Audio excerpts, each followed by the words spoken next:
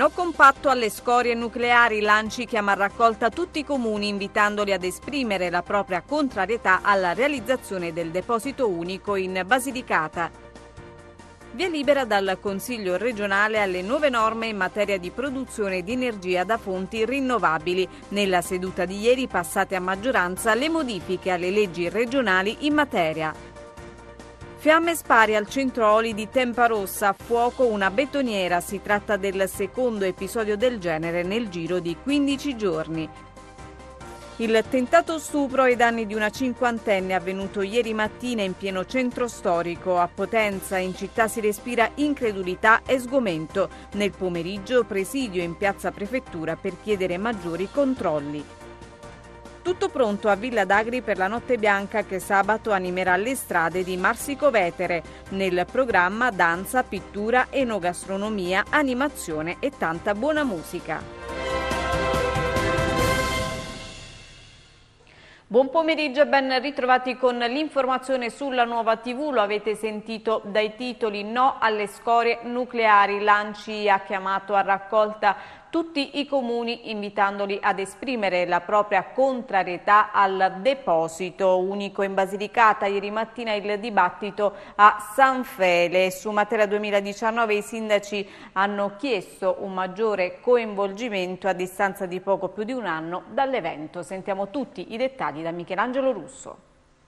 Ferma contrarietà alla realizzazione del deposito unico nazionale dei rifiuti radioattivi e il rilancio del tema della partecipazione di tutti i comuni lucani alla grande sfida di Matera 2019. Sono i punti su cui è ruotato il dibattito del Consiglio direttivo ANCI straordinariamente convocato a San Fele. Il presidente Adduce e i sindaci presenti hanno definito gli aspetti programmatici e organizzativi della prossima assemblea regionale regionale degli amministratori locali lucani che si terrà nei primi giorni del prossimo mese di ottobre. Come già è accaduto l'anno scorso, l'Anci ha scelto un tema su cui concentrare le riflessioni dei sindaci e degli amministratori. Il padrone di casa, Donato Sperduto, ha esordito battendo proprio sullo scarso protagonismo dei comuni nel percorso verso Matera 2019. Noi sindaci eh, amministratori prima siamo stati chiamati a dare il proprio assenso a che Matera diventasse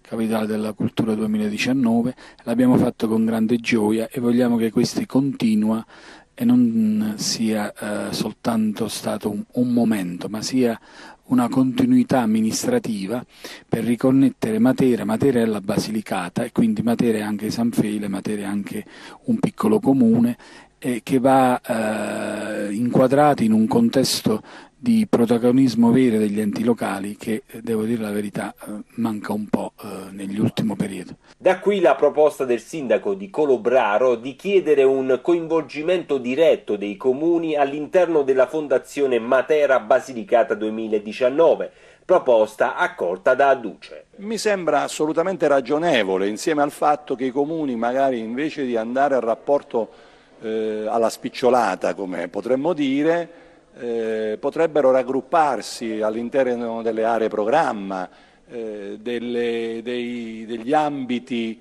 eh, dove attualmente svolgono funzioni associate per poter proporre propri progetti, proprie iniziative e fare in modo che non ci sia diciamo, una dispersione, una frammentazione, ma ci sia una concentrazione di iniziative e di attività che possono essere utili all'intera regione.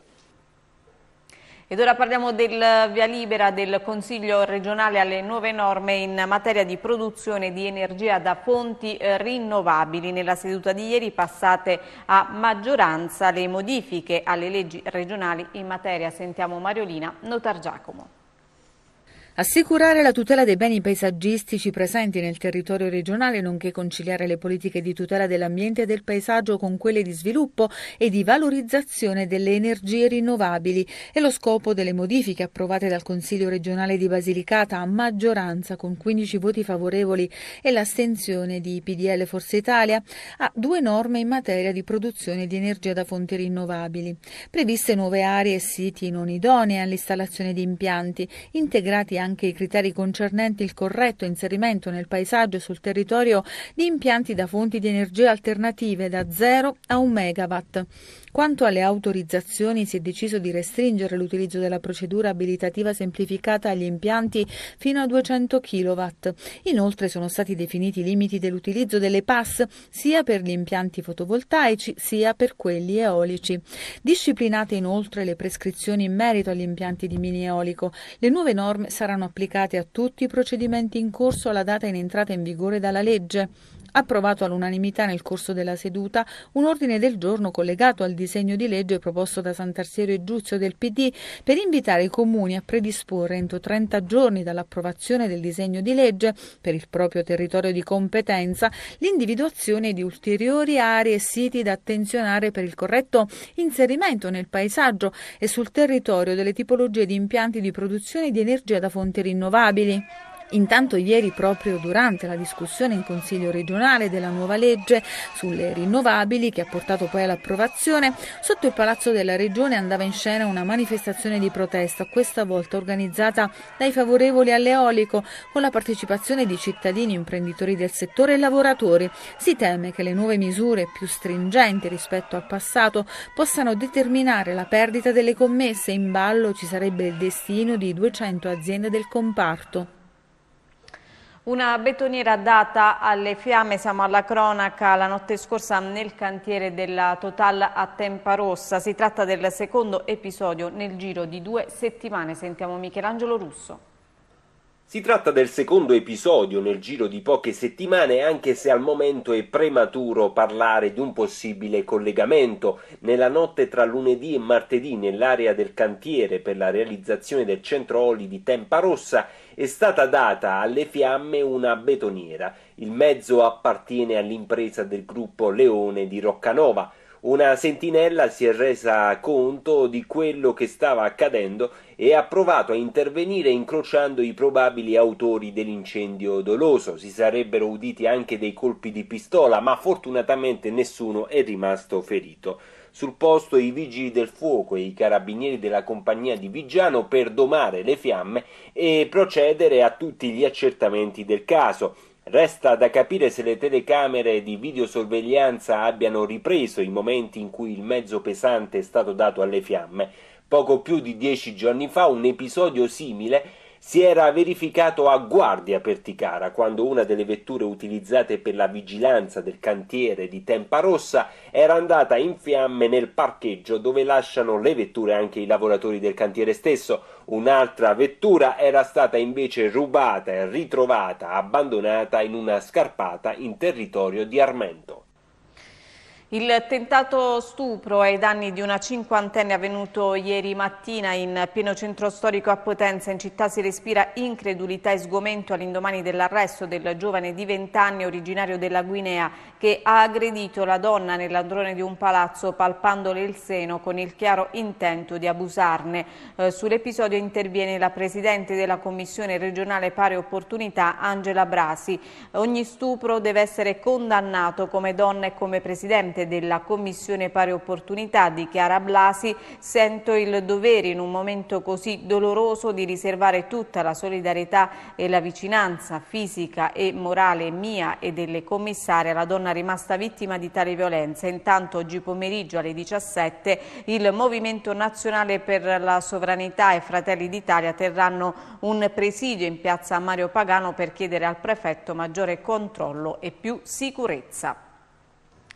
Rimane da chiarire la dinamica dell'incidente mortale verificatosi nel pomeriggio di ieri intorno alle 16 sulla strada provinciale 103 nei pressi di Grumento. A perdere la vita un ventunenne di Vigiano, Gianfranco Pecora, ad allertare i soccorsi alcuni passanti che hanno notato il ragazzo riverso sull'asfalto poco distante dalla sua moto. Sul posto, oltre ai sanitari del 118 giunti in ambulanza, anche i carabinieri della locale stazione per tutti i rilievi del caso.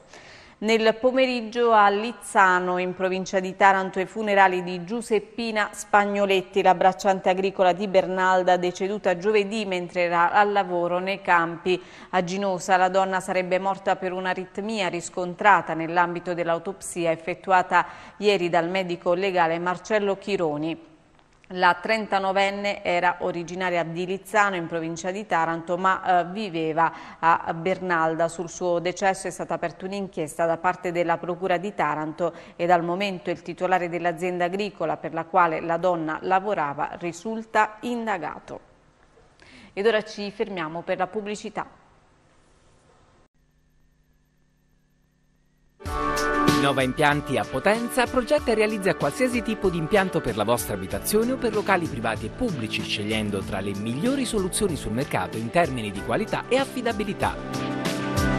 Nova Impianti di Aldo Capitini 26 a Potenza. Per informazioni il sito novaimpiantipotenza.eu, mail info chiocciola novaimpiantipotenza.eu.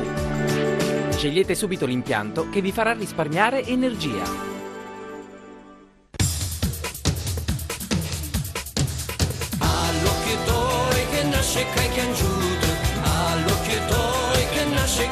Tribù Lucane, Dialetto, il nuovo album di Graziano Accinni. Dal primo giugno in abbinamento facoltativo con la Nuova del Sud. Tribù Lucane, Dialetto, chiedi al tuo edicolante il nuovo CD di Graziano Accinni.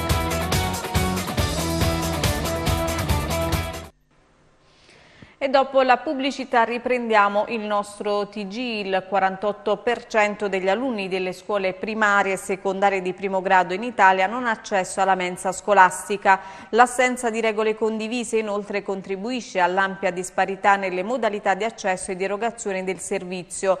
Il, eh, a rilevarlo è il rapporto Non Tutti a Mensa 2017 eh, realizzato da Save the Children alla vigilia dell'inizio dell'anno scolastico. Il quadro che emerge è allarmante. In otto regioni italiane oltre il 50% degli alunni, più di un bambino su due, non ha la possibilità di accedere al servizio mensa. La forbice tra nord e sud continua a essere ampia con cinque regioni, Sicilia, Puglia, Molise, Campania e eh, Calabria, che registrano il numero più alto di alunni che non usufruiscono della refessione scolastica. E a Potenza il servizio mensa partirà il primo ottobre, il primo, giorno, il primo giorno di scuola, l'11 settembre sarà garantito anche il servizio di assistenza all'autonomia a renderlo noto e la cooperativa sociale Multiservice. Ed ora parliamo di contrasto alla ludopatia e al gioco d'azzardo. Il Movimento 5 Stelle ha inviato una lettera a tutti i sindaci dei 131 comuni lucani invitandoli a far rispettare la la legge regionale in materia approvata nel 2014 ma mai applicata. Sentiamo. Il contrasto alla ludopatia in Basilicata può contare su una legge regionale approvata il 27 ottobre del 2014, ma mai fatta rispettare appieno. Non che i lucani risultino immuni dal fenomeno, che anche per la nostra regione, come per il resto del paese, fa segnare cifre preoccupanti. Nel solo 2016 infatti sono stati 16 milioni gli italiani fra i 15 e i 64 anni coinvolti per una spesa complessiva di 25 miliardi di euro e il 20 25% di questi manifesta una dipendenza. La legge regionale, la numero 30, recante misure per il contrasto alla diffusione del gioco d'azzardo patologico, è rimasta inapplicata. Neppure dopo la sua integrazione il provvedimento ha preso piede, rimanendo nei cassetti dei comuni che, attraverso la polizia locale, avrebbero dovuto farla rispettare. I controlli non sono stati mai avviati, a partire dal cosiddetto distanziometro, ovvero la distanza che deve intercorrere tra le slot machine e alcuni luoghi sensibili come le scuole, le chiese, i centri associativi, in prossimità dei quali non possono essere installate macchinette se non in un raggio di 500 metri metri. Le slot autorizzate alla data del 1 gennaio 2017 attive ma non in regola con questa misura devono essere rimosse, ma ciò non è mai avvenuto, anzi continuano a proliferare. La legge regionale è stata riesumata dal Movimento 5 Stelle che ha inviato a tutti i sindaci lucani una lettera con cui si invitano gli amministratori a far rispettare le norme. L'iniziativa è stata presentata a Potenza nel corso di una conferenza stampa dai consiglieri regionali pentastellati Gianni Leggeri e Gianni Perrino. La nostra iniziativa cerca in qualche modo di, di sollecitare i sindaci a che insomma, si, si, applichi correttamente quello che è disposto all'interno della legge. Quantomeno evitare di rilasciare licenze a, ad attività nuove che vogliono ubicarsi in barba a quello che è stabilito dal, dal cosiddetto distanziometro, che è stabilito in uno degli articoli della legge ma ricordiamo questo distanziometro dal gennaio 2017 doveva essere applicato a tutte le attività, non solo a quelle nuove. Però noi abbiamo eh, avuto dire, delle eh, delle segnalazioni da parte dei cittadini che addirittura ci dicono che ci sarebbero delle nuove attività che chiedono di essere ubicate all'interno di quello che dovrebbe essere dire, una uh, no slot zone eh, che però invece uh, sembrerebbe del tutto disattesa. La speranza, oggi abbiamo insomma, voluto amplificare quanto fatto tramite via PEC e oggi siamo qua, abbiamo fatto assieme al collega Perrino, assieme al nostro staff, questa conferenza stampa per sensibilizzare ulteriormente quanto abbiamo fatto in questi giorni con l'invio dalla PEC ai 131 sindaci dei comuni della nostra regione Basilicata. Noi la faccia ce la stiamo mettendo perché crediamo che si tratti di un problema molto, come, come, è stato già accennato dal mio collega, molto cogente che eh, riguarda un gran numero anche di, eh, di cittadini lucani, eh, per cui riteniamo che eh, tutti debbano fare la propria parte. Noi stiamo cercando di fare la nostra parte eh, andando a sollecitare i sindaci, ma è ovvio che non è che vogliamo gettare la croce addosso ai sindaci.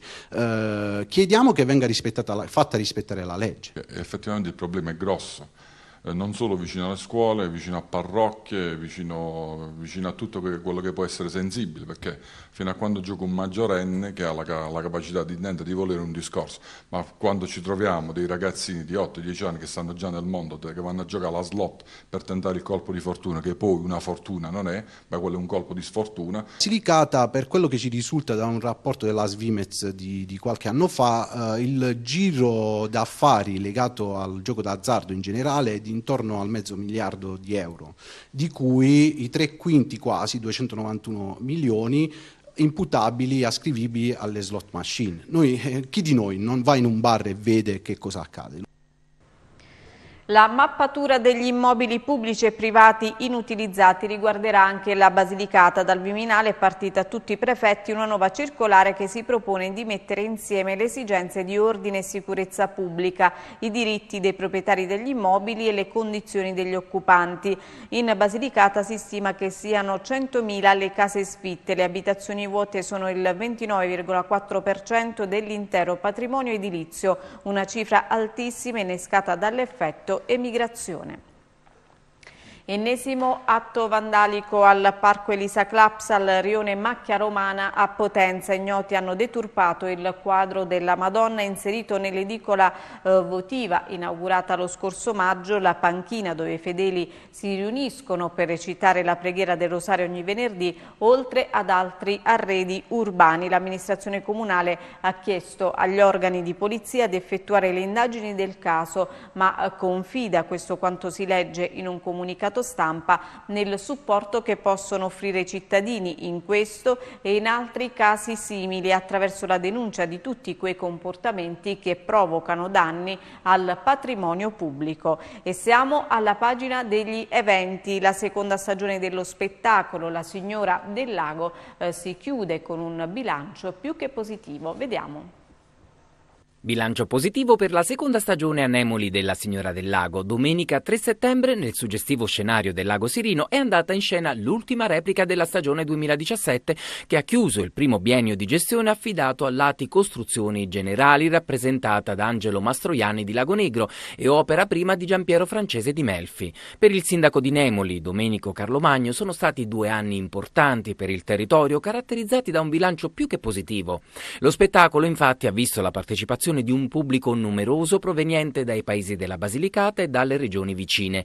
I dati della seconda stagione, in cui si sono verificati diversi sold out, evidenziano, tra l'altro, un aumento significativo delle presenze nell'area e delle prenotazioni online.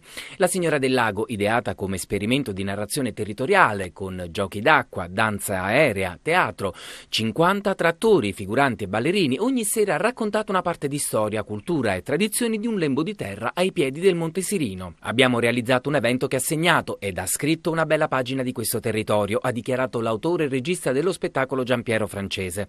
Quando l'arte si mette a servizio di un territorio diventa un valore aggiunto per tutti. Tutto pronto a Villa d'Agri per la Notte Bianca che sabato animerà le strade della frazione di Marsico Vetere. Il programma dell'iniziativa è stato illustrato eh, ieri pomeriggio nella sala consiliare di Piazza Zecchettin. Cultura, danza, pittura, enogastronomia, animazione per i più piccoli e tanta musica come quella di Giovannelli, DJ di fama internazionale ospite di punta della manifestazione organizzata dalla Comart, l'associazione dei commercianti e degli artigiani di Villa d'Agri, nata lo scorso maggio per il rilancio delle attività locali e che in breve tempo ha raggiunto quota 130 iscritti. Obiettivo trasformare il centro valigiano in un grande centro commerciale a cielo aperto. E da parte mia è tutto, ora la linea a Manuela Scalese per le notizie sportive, grazie per la cortese attenzione e buon proseguimento di giornata.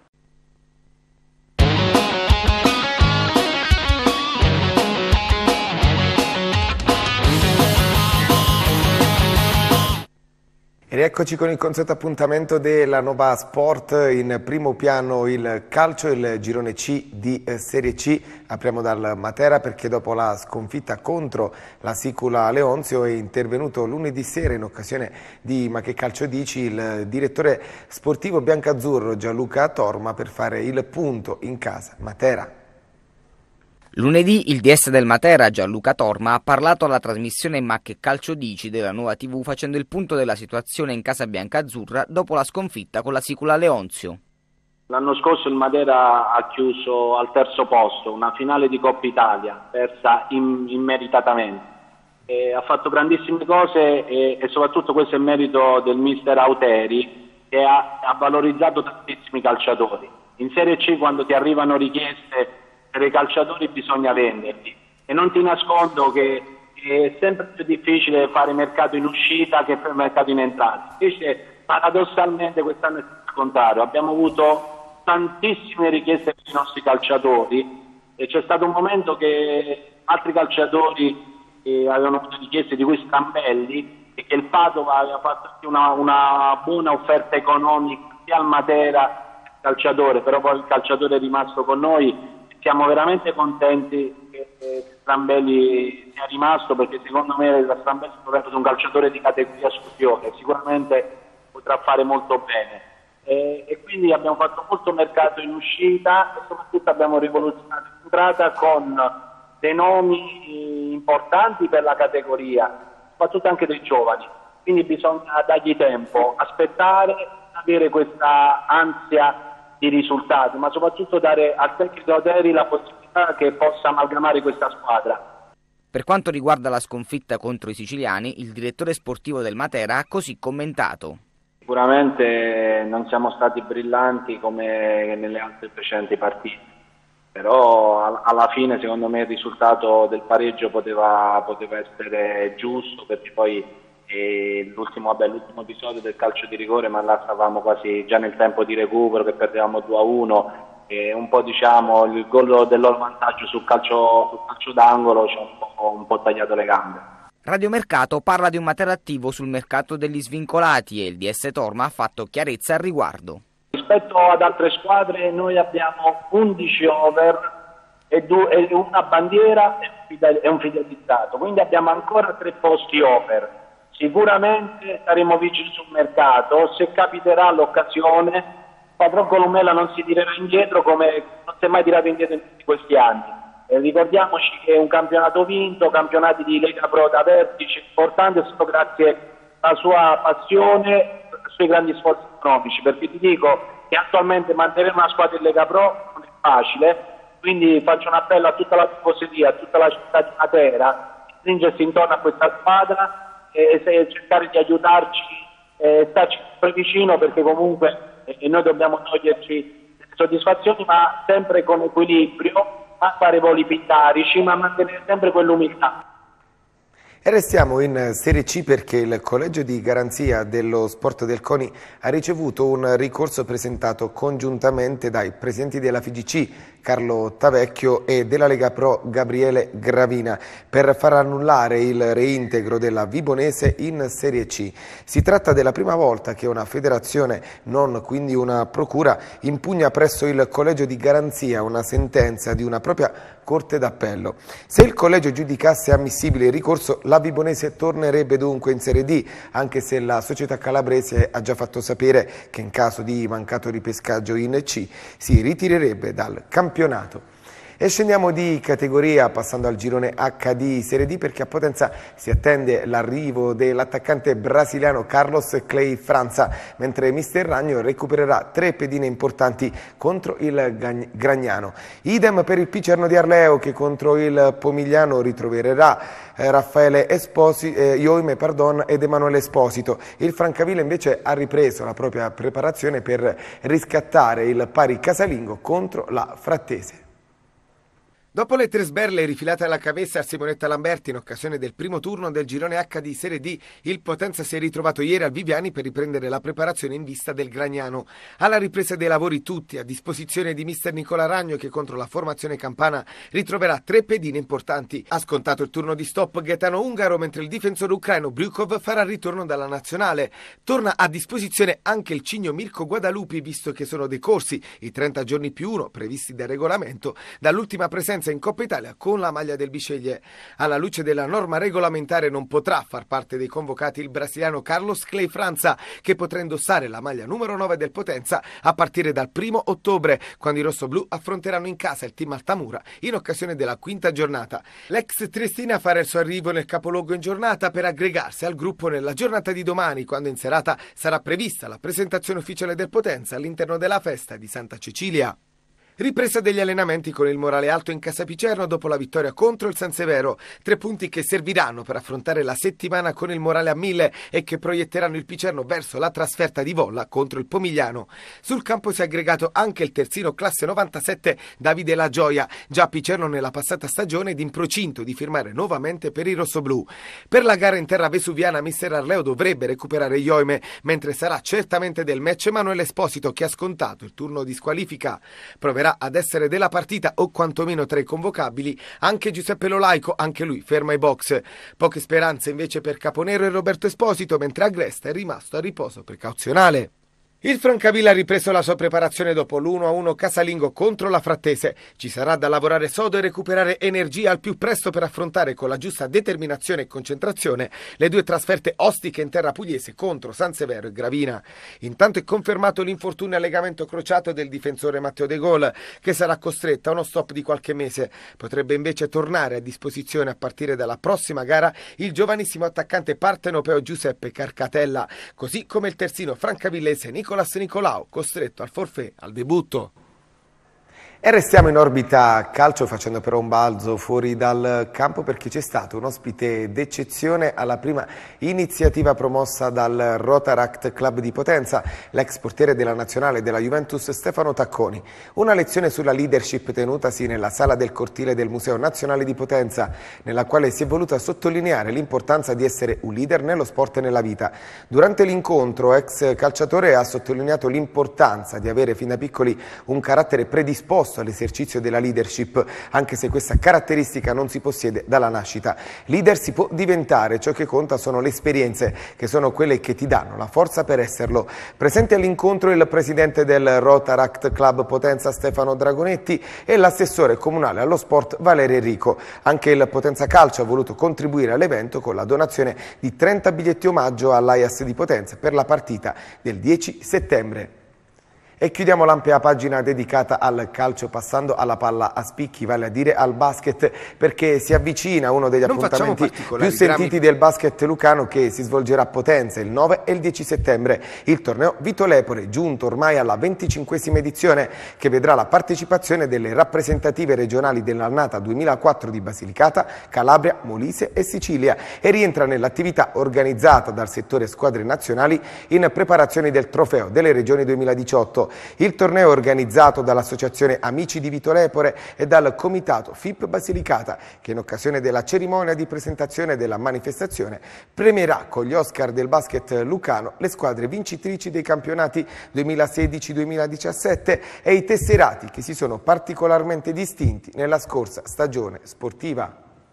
E concludiamo proiettandoci sotto rete passando al volley perché è iniziata ufficialmente lunedì la stagione agonistica della PM Volley Potenza. La formazione potentina, cara al presidente Michele Ligrani, si è radunata nel tardo pomeriggio di ieri per iniziare la preparazione in vista della partecipazione al prossimo campionato di Serie C Pugliese che inizierà nel weekend del 14-15 ottobre. Il roster potentino si è radunato agli ordini del tecnico riconfermato Pamela Petrone che sarà affiancata per il campionato di Serie C dal vice Marco Orlando che darà il suo preziosissimo apporto anche alle formazioni giovanili affidate come sempre ad Elena Ligrani. La società è a lavoro per completare il roster con giovani ragazze locali e di talento per poter offrire ai tecnici Petrone e Orlando un roster di ottimo livello. Con quest'ultima notizia si conclude il nostro ampio approfondimento inerente a tutte le discipline sportive lucane, rimandando l'appuntamento alla prossima edizione del TG. Grazie mille per essere stati con noi, buon proseguimento con il palinsesto della nuova TV.